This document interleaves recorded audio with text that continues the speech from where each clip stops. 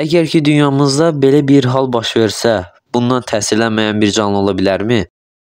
Sizcə nüvə müharibəsində sağ qalma ehtimalı ən yüksək olan canlı nədir? Çoxu insan yəqin ki, tarakan olduğunu düşünür, ancaq ki, tarakanlar səhv cavabdır. Bir çoxumuzun tarakanların məhv edilməsi olduğuna inanmağımız özlüyündə maraqlı mövzudur. Onlar bizdən daha uzun müddətdir ki, planetimizdədir.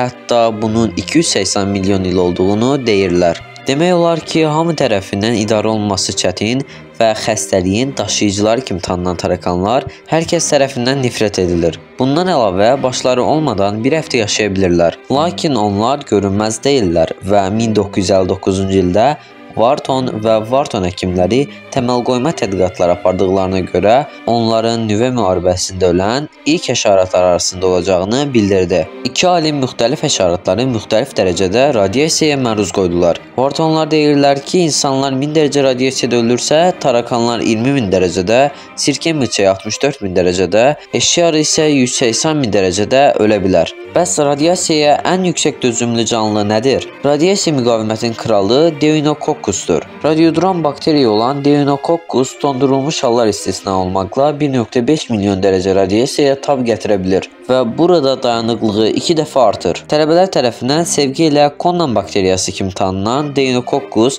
çəhrayı rəngdədir və çürük kələm isi verir. Radiasiyaya məruz qalmış konservləşdirilmiş ətlərdə xoşbəxtliklə böyüdüyü aşkar edilmişdir. O vaxtdan bəri fil və lama peynində şüalanmış balıq, ördək əti və hətta Antarktidada qranitlərdə tapılmışdır. Konan bakteriyasının radiasiyaya, soyuğa qarşı müqaviməti və bu ekstremal şəraitdə DNT-ni qoruyub saxlaya bilməsi NASA alimlərinin Marsda həyat tapmaq üçün ipucları ola biləcəyinə inanmasına səbəb olub.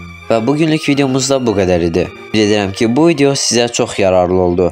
Daha çox bu tərzdə videolar üçün like atıb kanalıma abunə olmağı və dəstək məqsədi ilə şərh yazmağı unutmayın. Bir sonraki videoda görüşmək ümidi ilə. Hələlik.